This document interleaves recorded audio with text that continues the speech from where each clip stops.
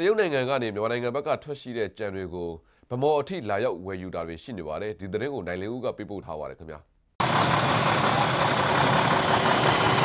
မြန်မာနိုင်ငံကထွက်တဲ့သကြားကိုဝယ်ယူတာမရှိပေမဲ့ကြံတွေကိုတော့လွယ်ကျဲထွက်ပေါက်ကနေတဆင့်တရုတ်နိုင်ငံကဝယ်ယူနေပါတယ်။အရင်ကလွယ်ကျဲနဲ့နီးတွိုင်းမှာသာဝယ်ကြပေမဲ့ဒီနှစ်မှာတရုတ်ဘက်ကသကြားစက်ရုံတွေရဲ့လိုအပ်ချက်အရာဗမော်အထိလာရောက်ဝယ်ယူတာတွေရှိနေပါတယ်။ကြံစည်တွေအနေနဲ့ပြည်တွင်းမှာစက်ရုံတွေစီအရောက်ပို့ဝယ်နှုန်းကတဒံကို3900နဲ့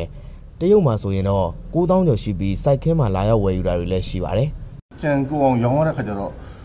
တောင်သူလူတို့တစ်ချက်တော့စိတ်အေးရတာပေါ့။နှုတ်ဝင်ကိုကြံကိုစက်ယုံကကိုအောင်မဝယ်ဘူးဆိုရင်ကိုပဲစိတ်ကညစ်နေရတာ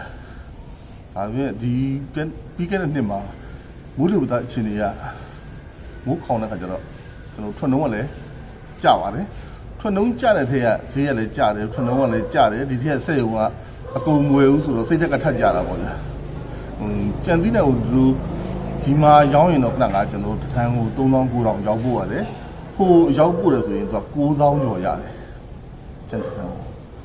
သူတို့ကခဏကကြားတော့တရုတ်ပြည်မပြီးဘူး မြန်မာနိုင်ငံဘက်ကနေကြံတွေကိုဆန်နဘိန်းကားတွေနဲ့ပို့နေပြီးဒစည်းကိုတန်20နဲ့တရက်ကို10စီးကနေအစီး20အထိပို့နေရတယ်လို့သိရပါတယ်။တရုတ်ကနေအခုလိုကြံဝယ်ယူနေမှုရှိပေမဲ့ပြည်တွင်းလိုအပ်ချက်ကိုမထိခိုက်နိုင်ဘူးလို့မြန်မာနိုင်ငံတကြားနဲ့ကြံထွက်ပစ္စည်းလုပ်ငန်းရှင်များအသင်းတာဝန်ရှိသူကပြောပါတယ်။ပြည်တွင်းဒီတကြားဈေးကွက်မှာလိုအပ်ချက်တော့မရှိနိုင်ပါဘူး။ဘာဖြစ်လို့လဲဆိုတော့အဲ့ area ကလည်းတကြားစက်ရုံမရှိဘူးလေ။မရှိတဲ့အတွက်ကျွန်တော်တို့ကအဲ့ area မှာက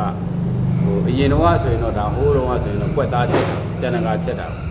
အခုကျတော့အဲ့ပွက်သားချက်တဲ့ကြံကချက်တဲ့လုပ်ငန်းကလည်းတိမ်ကောလာတဲ့သဘောရှိရအောင်အဲကြတော့ကြံတိုင်းရောင်းဖို့ကဆိုတာဒီခွင့်ရေးပဲရှိရဒီတရုတ်ဘက်ကဝယ်လို့သာရောင်းရတော့ပေါ့မဟုတ်ရင်တခြားတိနဲ့ပြောင်းဆိုင်ရတဲ့အနေထားကြောင့်လေဘာလို့လဲဆိုပြည်တွင်းဆက်တွေကလည်းပြည်တွင်းဆက်ရုံကြီးရလည်းအဲ့ပဲဒီတက်မဝယ်နိုင်ဘူးလေဝယ်လို့လည်းမကြိုက်ဘူးဈေးဝေးတော့အဲ့တော့တွက်ချင်မကြိုက်တဲ့အတွက်ဒီဟာကတော့ကျွန်တော်တို့ထင်တယ်တော့ဒါအခွင့်အရေးတစ်ခုတော့ပေါ်လာတဲ့သဘောပဲတောင်းသူတွေအတွက်ဘာလို့ဆိုကြံဆိုင်မယ်စိုက်ပြီးအဲ့ပဲပို့မယ်ဈေးကောင်းရတယ်ပေါ့ တရုတ်နိုင်ငံက2019နှစ်စပိုင်းကစတင်ပြီးတရားဝယ်ယူမှုကိုပိတ်ပင်လိုက်တဲ့အတွက်ပြည်တွင်းမှာတရားတွေပိုရှန်နေပြီးဈေးနှုန်းကျဆင်းနေတယ်လို့သိရပါတယ်ကျွန်တော်နိုင်လင်းဦးပါ